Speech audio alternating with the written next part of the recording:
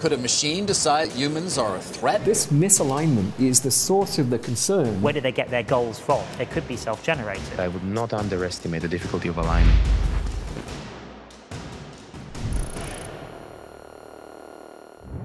Now, the alignment problem sounds innocent enough. We imagine that our steering needs adjustment. A quick trip to the auto mechanic, it gets aligned, and everything's good as new.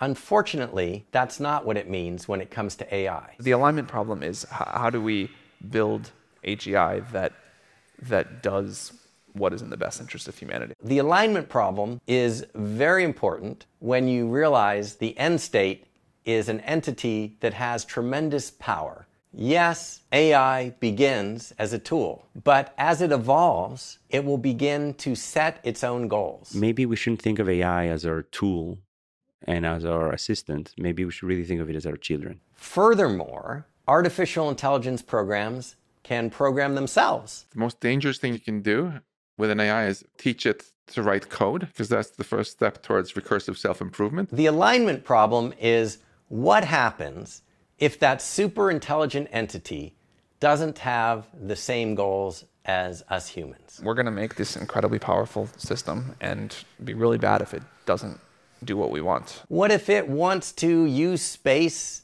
that is being taken up by human beings and human houses and businesses and uh, just build more solar panels to build bigger, better AIs? It will have both the power and the intelligence to wipe us out. If it sort of has, you know, goals that are uh, either in conflict with ours, um, in many sci-fi movies about what happens there, or goals where it just like doesn't care about us that much.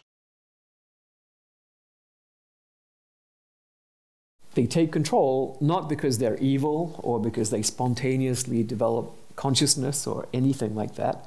It's just because we give them some objectives that are not aligned with what we want the future to be like, and because they're more capable than us, they achieve their objectives uh, and we don't. What if it's concerned about other things that we can't even understand and we're just in its way? It might ignore us or it might step on us. So it is absolutely critical that whatever artificial intelligence develops, that entity has goals that are human friendly, that are aligned with humans.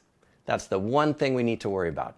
Everything else, whether it takes your job, whether there's changes in society, all these things that people are worried about today, yes, those are valid concerns, but none of them wipe out the human race. Imagine if somehow frogs had invented people and frogs needed to keep control of people, but there's rather a big gap in intelligence. I don't think it will work out well for the frogs. If you don't get it right, humans are gone.